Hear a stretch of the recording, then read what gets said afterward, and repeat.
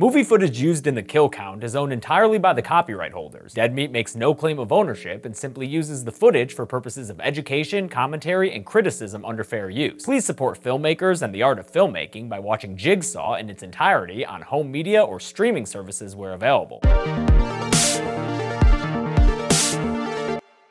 Welcome to the Kill Count, where we tally up the victims in all our favorite horror movies. I'm James A. Janisse, and today we're looking at Jigsaw, currently the latest film in the Saw franchise, having come out just last year in 2017. Jigsaw comes after a seven-year gap in the franchise and was written by newcomers Josh Stolberg and Peter Goldfinger. Directed by the Spierig brothers, it has a decidedly updated look to it. Instead of feeling trapped in the mid-2000s like the original Saw films, it's much more polished in terms of cinematography and lighting. Unfortunately, for those of us who relished in the soap opera storytelling, telling of Saws 1 through 3D, Jigsaw doesn't pick up that torch to carry. It's sort of a soft reboot of the series, with the only returning character, besides Billy the Puppet, being John Kramer himself, played by Tobin Bell, who is once again the best part of the movie. But it's not a hard reboot because everything we saw still took place. It's a little confusing, and the movie gets ambitious with how much it tries to do, but unfortunately, its big twist is weighed down by bigger plot holes and a major retcon that doesn't jive with what we know from the first seven Saws. With all that being said, how does Jigsaw stack up in terms of kills?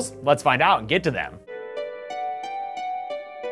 The movie begins with some cops laying out a spike mat that makes this car have a real theme park stunt show style crash. The driver, Dirty Edgar here, takes off on foot and winds up on that roof from the room, maybe to sell Denny some drugs. This dude, Detective Halloran, shows up and regards Edgar like an old friend. Edgar, Edgar, what the fuck are you doing? But Edgar just tells Halloran and this other detective, Keith Hunt, that a game has begun. He says he has to pull the trigger on this device to save his own life, so he does and gets his hand shot off by the police. Elsewhere, we see a digital timer start in a room with five chains leading out of a wall. Although Halloran told his men to aim for the trigger, it looks like one of them shot Edgar in the chest. Luckily, Edgar still has enough breath to say, it started, and lead us into a title card. High tech, baby, ready player jigsaw. That timer we saw hits zero and some lights come on, waking up a bunch of bucketheads. Well, all but the buckethead on the end there. He's more like a, eh, fuck it head. Their wake-up routines are interrupted by the voice of John Kramer over a speaker. I want to play a game. He says these people haven't accepted responsibility for the things they've done in life, but if they can come clean about the lies they've told, they can win salvation. Confess.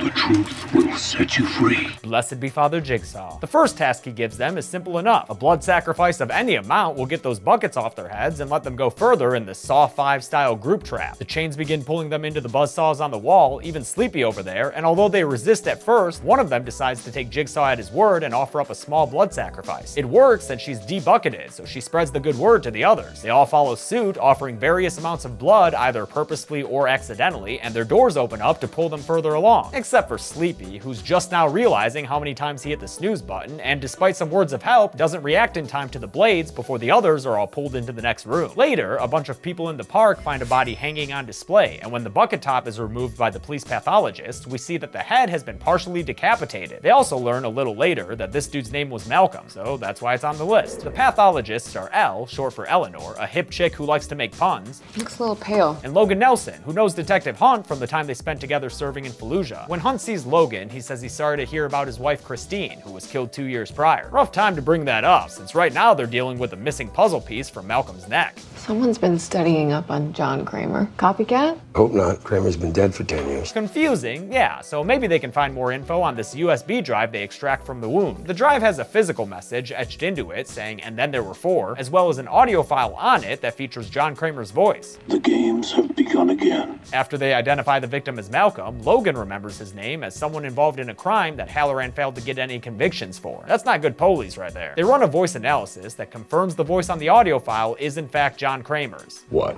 You came back from the dead?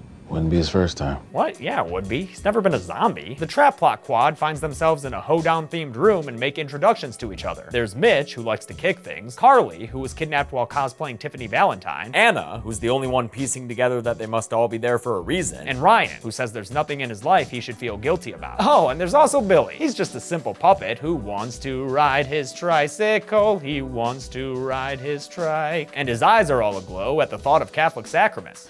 No, it's not creepy at all. Billy gives them his old puppet laugh, and their chains once again start retracting. Mitch tries to stop it by confessing about a time he sold a kid a motorcycle and the kid died in a crash 10 minutes later, but he denies any responsibility for it. Anna says she lost her baby when her husband mistakenly rolled over onto it during a nap, suffocating it, but she's got no mea culpas to give either. Mitch is able to grab a tape player from Billy, and it makes the chain stop retracting. On the tape, Jigsaw says that one of them is a thief who allowed a woman to die while they were snatching that purse. I'll go ahead and include that woman on the count, since, you know, she did. And she died because purse snatcher Carly didn't help her during an asthma attack. Now it turns out Carly's been injected with a poison, and the tape tells her, It is you who could die without the right medication. of the three needles in front of them, one has the antidote, another a saline solution, and in the third, frickin' acid, and not the Ken Kesey kind. Their chains will be released if they inject the right one, but they all might die if they don't. That's because the chains start up again, going into the ceiling this time, and all four of them start to hang. Carly is too scared to pick one of the needles for herself, so Ryan swings over and injects her with all three, freeing everyone from their neck shackles. That's great news for all of them, except Carly, who's got a trio of needles in her neck. Her skin starts bubbling and then just kind of falls apart completely, and Carly falls to the barn floor dead from a ton of blood coming out her neck. There's a short argument about whether Mitch saved their lives or took Carly's, porque no los dos, before Mitch finds a combination number inside one of the syringes that opens the next door in their path. In the new room, despite a warning not to, Ryan tries to break down an exit only to fall through the floorboards into a trap that wraps metal wires around his leg. Oh, that's gotta hurt. There's a tape under the floorboards too, and although it proves very risky to retrieve, Mitch manages to pull through and get it out. On the tape, John Kramer chastises Ryan for trying to take a shortcut and says the only way to be set free is to pull this lever. But Ryan surmises that be set free means be free of half a limb, so he doesn't want to pull it and lose his leg. The barn goes dark, and Mitch and Anna are led into a grain silo by a light. The door closes on them, and a flat screen TV comes on, with another monitor turning on near Ryan beneath the floorboards. Simulcast across both of them is Farmer Billy again. And may I just say, Billy, you're looking real good in this movie. Talk about a glow up. Billy says that now the lever is also the only way to save Mitch and Anna. From what? Motherfucking grain engulfment! A terrifying way to die that actually kills a handful of farmers every year. It really sucks, dude. But Ryan is still too afraid to pulverize his own leg, so Anna and Mitch are buried up to their necks, which Ryan sees on his subterranean monitor. Various sharp tools start raining down upon the pair of them, but thankfully they're being dropped by some stormtroopers, so pretty much all of them miss. Ryan finally builds up the courage to pull the lever, and just as expected, the wires tighten around his leg and straight up trifurcate it. Looks like a little lake sushi roll there. Sucks for him, but there is some good news. Their next door opens, and Mitch and Anna are freed, even though she nearly gets pitchforked in the face. Let's catch up with a bunch of cop plot stuff. Blood under the fingernails of that buckethead body Malcolm are revealed to match the blood of a perp taken a decade ago. Hmm, who could that be? Hopefully the movie will spell it out for me. The blood under the fingernails of our first victim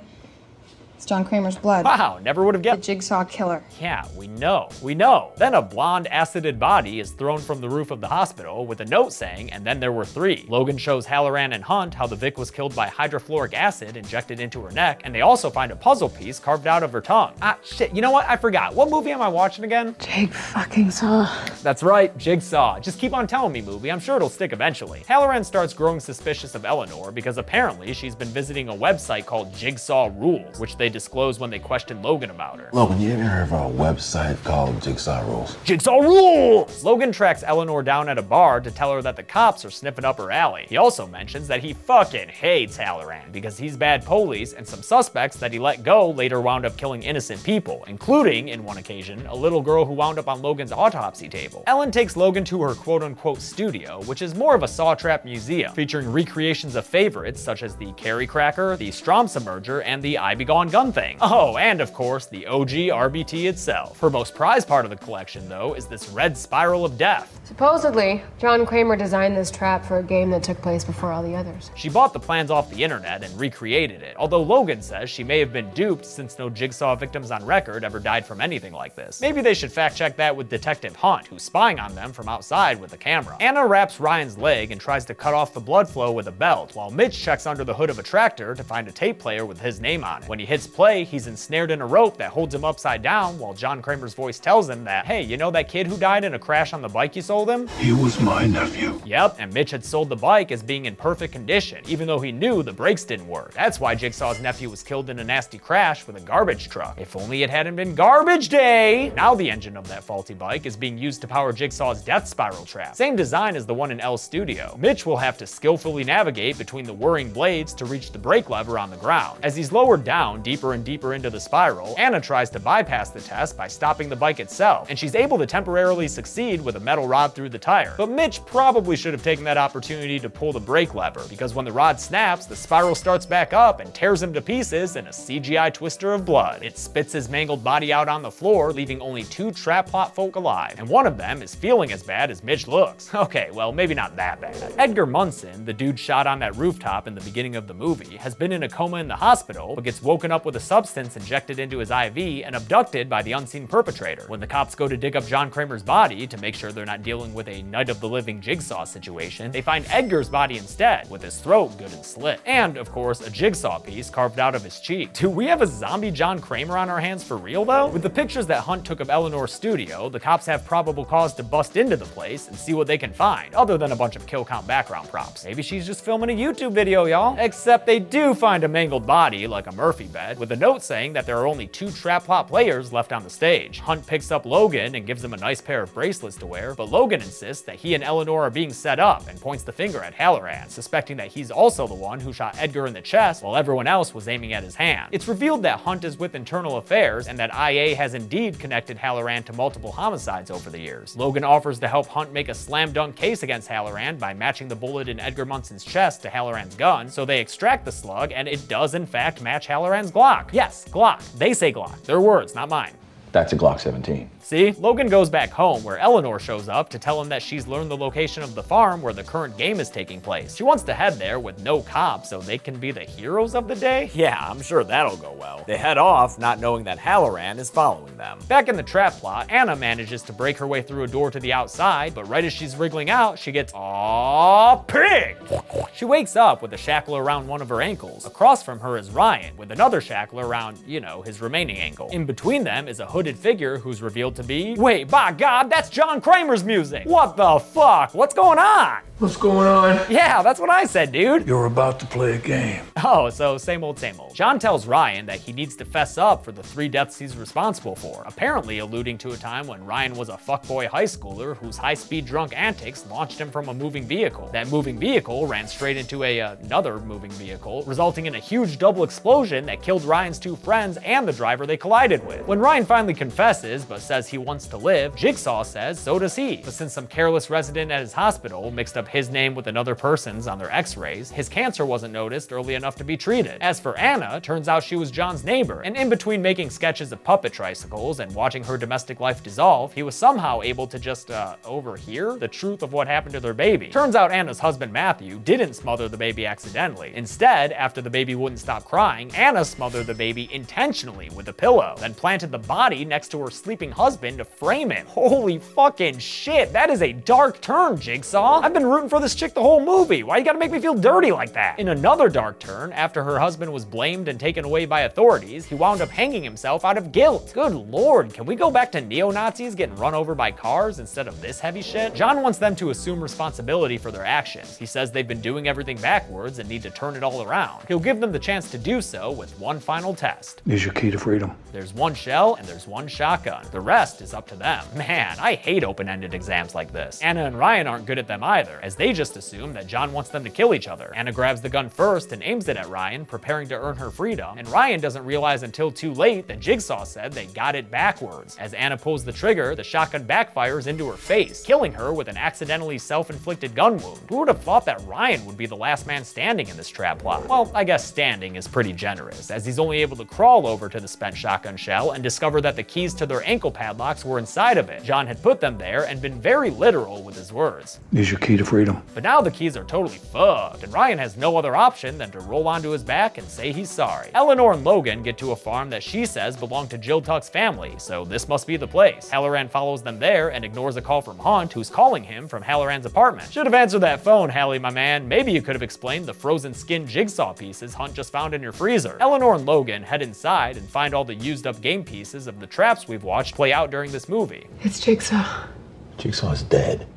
Is he? Uh, yeah, dude, he has to be. Have you seen the beginning of Saw 4? But Eleanor claims that Jigsaw lives forever through the work of his followers, and that's when they stumble upon the cone of death that shredded Mitch to a husk. Logan turns on Ellie and suspects her of being behind everything, but as she proclaims her innocence, Halloran pops out and puts a gun to Logan's head. Logan puts his marine combat skills to good use and fights back as Eleanor runs away. Halloran manages to knock Logan out and runs off to chase Eleanor, but he loses her and winds up getting a needle in the back that knocks him out. Next thing you know, both Logan and Halloran are waking up with some fancy metal bibs around their necks that Logan immediately identifies as being freaking laser beams. John Kramer's voice comes over a speaker to tell them that they are the final two players of the game, and that the only way they'll get out of these laser collars is if they confess to the crimes that put them there. In response, Halloran asks what we're all dying to know. How are you alive? How are you still alive? Jigsaw says they have a choice over who goes first, and Halloran offers to do so. But instead, he hits the button in front of Logan, which sends him back against the wall. With the laser show on full force, Logan confesses that he was the hospital resident who mixed up John Kramer's x-rays and caused his cancer to be missed until it was too late. But apparently, that confession's not enough, and the lasers close in on Logan's head, causing blood to go everywhere and for him to collapse to the ground. Then it's Halloran's turn to be up against the wall, with the lasers shooting out of his collar into the ceiling above. He starts admitting various corrupt cop shit that he's done, and after confessing that innocent people died because of him, the lasers turn off. That's when he notices something fishy. While his ceiling is all charred and lasered, the one above Logan's spot is not. Logan gets up from the ground in a very Saw 1 John Kramer type way and shows that his lasers were as harmless as a house cat plaything, and that the blood we just saw came from a bunch of capsules lining the inside of his collar. He reveals that he's been the new Jigsaw this whole time, but that he's gonna frame Halloran with the audio recording he just took of his confession. People died because of me! Innocent people died because of me! I did it! Confused? I understand. Yeah, that's okay. This movie's twist is pretty damn extra. Logan explains that 10 years ago, in this very barn, a game was played. He illustrates his point by unveiling a couple of decade-old bodies, those of Anna and Ryan, so now we can add Ryan to the count. Turns out he was left in the barn to bleed to death after Anna messed up their keys by firing that shotgun. Bummer. And yes, just to be clear, the main trap plot of this movie took place 10 years ago and was set up by John Kramer back then, when he was still alive. Just uh, ignore the flat screen TVs and the high-tech Billy glow-up eyes during those scenes. Or, you know, don't. Call that shit out. It's a major plot hole. Logan had actually been part of that game, put there because of the fatal X-ray mix-up that messed up John's chances at life. He was the sleepy buckethead that we saw get left behind in the first room as the other trap plot participants moved on to hang out at the hoedown. I guess right after that happened, John Kramer emerged from a wall panel to save Logan and free him from the trap? What? John decided I shouldn't have to die over an honest mistake. Yeah, okay. Are we talking about the same John Kramer? Because in the same movie, he condemned Ryan to death for what was also a mistake. But okay. Now, 10 years later, Logan has recreated that same jigsaw game with criminals that were set free by Halloran. He made it identical, except that he only had three participants, with himself and Halloran filling in for the final two. And since we're being shown this revelation, I can finally square up the kill count. That Malcolm dude they found still counts, since he was the replacement for Logan in this recreation. But the acidified blonde corpse thrown from the roof wasn't actually Carly. It was this chick who just kind of looked like her and was given the same choice, apparently, so she died in the same manner. Add her to the list. And the mangled corpse they found in Elle's studio wasn't actually Mitch. It was this other guy who apparently was put in the same exact situation as Mitch and died in the same exact way. Throw him up there as well. Logan is ultimately targeting Halloran because he had protected Edgar Munson from jail time since Edgar was his informant. Why is that such a big deal for Logan? Oh, only because Edgar is the one who killed Logan's wife a couple years prior. So Logan probably enjoyed it when he stood on a rooftop in that opening scene and sniped Edgar in the chest. During the autopsy scene with Hunt, we see that Logan just pulled the old Reddit switcheroo to swap in Halloran's bullet. Sneaky bastard. He also grabbed John Kramer's blood from the evidence locker to put under Malcolm's fingernails, used old audio files of John Kramer's tapes to reconstruct his own jigsaw messages, and planted those fleshy jigsaw pieces in Halloran's freezer to frame him. Best of all, he's got a solid alibi in the form of Eleanor, who got away to tell the tale. Honestly, for me, it seems like an over-the-top twist, especially when it's revealed that Logan has been a jigsaw accomplice this entire time. Before Gordon, before Amanda, before Hoffman, all the way back to when he was building that first reverse bear trap. I don't know, it just seems unlikely to me. After Logan reveals all this to Halloran, he activates the laser collar and it closes in on Halloran's head, killing him by splitting his head into eight pieces, so when he falls to the ground on his knees, it straight up blossoms into a demogorgon. As his corpse falls to the floor, Logan closes the door with the infamous jigsaw catchphrase. I speak for the dead.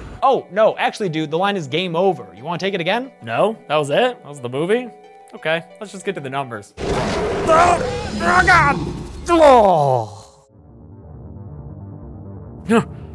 Oh, fuck. whatever. 16 people died in Jigsaw, a respectable second place in the series, especially without a Hoffmanator. The victims included 10 males, 4 females, and 2 victims of indeterminate genders. That's the car driver in the crash and Anna's baby, which, by the way, sucks to have a baby on one of these things. That comes out to this pie chart of genders, and with a runtime of 92 minutes, we had a kill on average every 5.75 minutes. I'll give the golden chainsaw for coolest kill to Halloran, I guess. The effects aren't great, but I just can't figure out who else I would give it to. And besides, how often do you have frickin' laser beams slicing a head like a pizza pie? Doll machete for lamest hmm. kill will go to Asthma Lady. Lots of contenders for this one, but nothing's worse than dying in the street like that, mere feet away from an inhaler. Platinum Punji Sticks for coolest trap will go to the Buckethead trap. Yeah, it's a super simple one, and yes, this movie has a bunch of cool traps, but this one became instantly iconic because of its simplicity, with five faceless humans being drawn towards a wall of spinning saws. Rusty Mousetrap for lamest trap will go to the chain hangers trap, just because of that massive loophole where anyone could inject all three syringes into someone else to pass it. And since Jigsaw is a new name for one of these movies, it doesn't need a personalized subtitle. Besides, I'm never gonna top that last one. So that's it. Jigsaw was released in 2017 and another Saw sequel is already being planned. But until that comes out, I'm James A. Janisse. This has been the Kill Count. Thanks a lot for watching today's Kill Count. I want to thank a couple of patrons like James Bale and Minya Zoe Khan. We're done with the Saw series. I did it! Fucking did it! I did it, Billy! I fucking did it! I fucking did it, Billy, too! I finished it! I did it! Mm, I did it! I did it! I did it! I did it! Oh, yeah. What's next? You'll find out on Friday. It's not Halloween. I did it. Be good people. I did it.